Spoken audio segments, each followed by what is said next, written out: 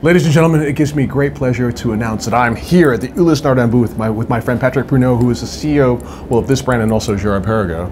Uh, but we are celebrating the relaunch of an extraordinary watch the first watch to bring poetic time telling to the industry, the first watch to take the movement and make it the star, the first watch where time telling was given by the actual rotation of the movement. It is the incredible Freak. So, Patrick, tell us all about it, sir. Yeah, that's. I mean, we're super excited this year to be launching the uh, the Freak One. You know, the Freak comes at a certain point in its uh, life as a maturity. I mean, really, when you think of it, the the, uh, the Freak was launched 22 years ago uh, it was a revolution back then. It belonged to that um, incredible uh, trend of like contemporary watches. I mean, the, uh, at the, at the uh, in the late 90s, beginning of the year 2000, a couple of uh, freak guys in the watch industry that basically reinvented how a movement could look like.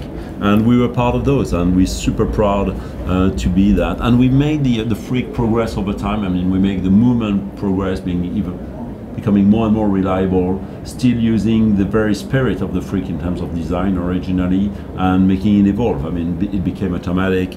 Uh, we've been uh, using more and more silicon components in it. It becomes even more reliable. So it, this is really a great achievement.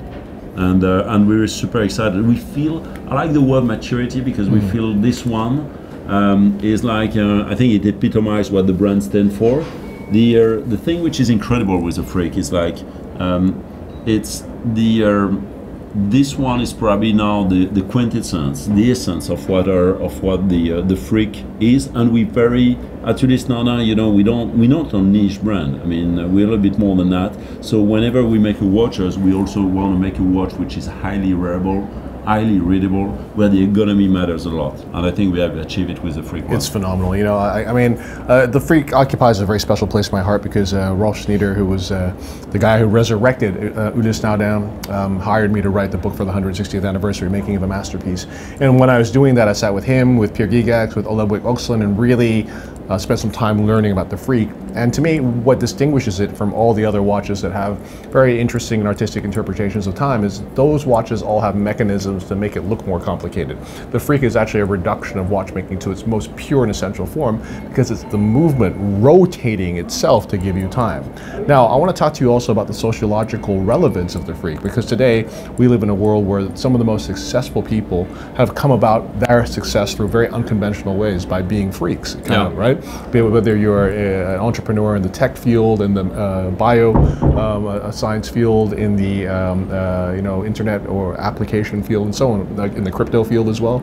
I mean, why do you feel that the freak, from a sociological perspective, has more relevance than ever? Oh, yeah, it's it's it's a good question, and you're referring actually to the people that work on this initially.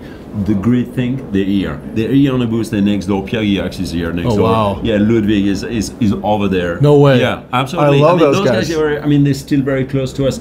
This is what I like in the, in the history of Ulysse Nardin. Wow. And 20 years is like the same people are here. They're with us. They work. We work together to think about the brand, how we want to design Ulysse Nardin in the future, and how we continue the legacy, which is also rough legacy, yes. Rolf spirit legacy, yes. and I think we're all inspired by that.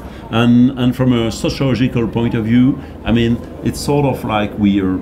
Yeah, it's a freak, and we almost went very edgy but now very edgy is becoming never will become mainstream but it's becoming a lot more acceptable for a lot of people. And you see you've been wearing it. It's a watch you can actually wear even it's so wearable. With, yeah it's so wearable. And the dimensions are great. It's actually quite thin uh, and altered you know. It and, is. And, and it's it's the original configuration. So you guys see the hour marker here which is actually attached to the barrel cover. So it's the barrel unwinding that gives you that rotation. And then you have the gear train and the oscillator here.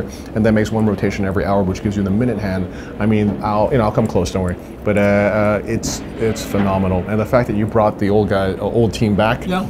uh, is so wonderful from an emotional perspective for me. I, I, love this watch. I love what it represents, and I love that it kind of allows you to be a truly individual person as well. So yeah, and now we see a, a, a lot of uh, collectors and also new collectors. People, uh, I mean, coming and discovering the Freak, whether it's now the Freak One or the Freak X, and and those that like hierarchy would go for the Freak X, the one, the double oscillator we launched yeah, last year. But cool. then the uh, you, we see a, a, a very strong interest, and it's it's a watch. Actually, it's I mean, I was actually was very uh, one of your counterparts, very famous a couple of minutes ago. We said, "Hey, I I acknowledge that this watch is fascinating. It may be not for me, but it's fascinating, and I'm very happy with that. It's maybe not for everyone, but actually, and, and I'm I'm glad with that. But it has a lot of character, and everyone knows it stands for a quality of horology which is rare.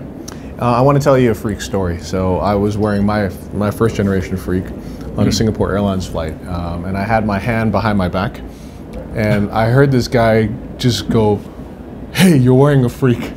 And I turned around, and it was uh, the owner of, um, of Bell and Ross, Carlos Rosillo. Really? And he said he said he, to me that he saw it from four seats down, and he said, "I don't care who that who this guy is. I have to meet him because he's wearing such a cool watch." And we became friends as a result of that. That's and it's nice. a true story. And it's I- nice, and, and, Yeah. and believe it or not, that the number of CEOs in a watch industry that do own a freak Yeah. is great, which I, I think is probably the best. I mean, uh, the best way to illustrate the uh, the interest. I mean, very often uh, watch CEOs are watch lovers, are passionate watch lovers, and those guys own freaks, which is great. It's awesome. Patrick, thank you so much, sir. It's a pleasure Wei. as always. Thanks. Hey guys, thank you for joining us. Cheers.